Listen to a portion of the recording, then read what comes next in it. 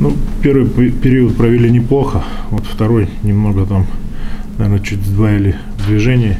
Соперник добавил. Игра переместилась к нашим воротам. Ну, э, в перерыве поговорили, там где-то разобрали ошибки, указали. И третий период более дисциплинированно сыграли. Ну, и победили. Рады три очкам, трем очкам. И готовимся к следующей игре. Трактор с победой. Трудно Спасибо. побеждать, когда забиваешь ноль голов. Но хотя моменты в сегодняшней игре, конечно, были. Какая-то нервозность, неуверенность у ребят. Ну, надо где-то раскрепоститься и где-то забить гол, может, это пойдет. Но ребят старались, претензий нет. Спасибо. Э, Спрашивают наши в соцсетях. Оцените э, игру нашей молодежи. Ну, на выезде они сыграли намного увереннее. Сегодня, наверное, переволновались.